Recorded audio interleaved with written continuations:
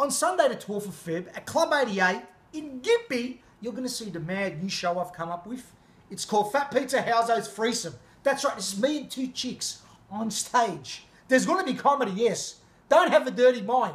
There could be other stuff, but you'll have to see it. A threesome right in Gympie at Club 88. Should have been Club 69.